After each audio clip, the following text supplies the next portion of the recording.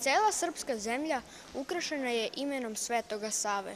Od Savinog polja kod Hilandara, preko Save, Savovca, Save Male, Savanovca, sve do Savinog izvora na vrhu Durmitora. Filip Stevanović, učenik četvrtog razreda osnovne škole Branko Miljković, ne samo da zna da izrecituje pesmu o prvom srpskom prosvetitelju, već zna i ko je bio Sveti Sava. On je bio srpski prosvetitelj koji se izborio za samostalnost Srpske pravoslavne crkve. Na akademiji je svečano. Peva se u čast Svetog Save, recituje glumi.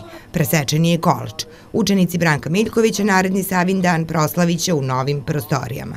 Uvek smo srećni kad dođe Sveti Sava, to je đačka slava i mi smo srećni, deca pripremaju program, a ovaj, znaju da će još malo da opet budu na raspustu i to je njihova sreća, ali znaju i da će doći u nove učionice u drugom polugodištu.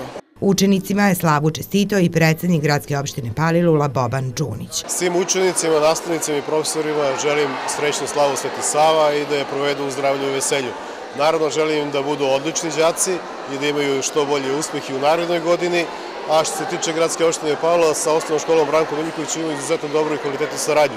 Osim osnovnih, praznik proslavljaju i srednje škole. Ekonomska, ugostiteljska i trgovačka škola dele školsku zgradu, pa su imale i zajedničku proslavu. Sa njima je slavio i gradonačelnik Niša Zoran Perišić. Sveti Sava je preminuo u tadašnjoj bugarskoj prestonici Trnovu 25. januara 1236. godine na povratku iz hodočašća u Jerusalim posle jedne diplomatske misije za bugarsku arhijepiskopiju. Prema zapisima iz tog vremena glas o njegove smrti stigao je u Srbiju 27. januara pa se u Srpskoj pravoslavnoj crkvi na taj dan služe liturgije. Njegove mošti su iz Trnova prenete i sahranjene u manastiru Milaševa 6. maja 1237. godine. Mošti je spalio Sinan Paša 1594. godine na Vračaru. Na tom mestu sada je spomen hram posvećen Svetom Savi.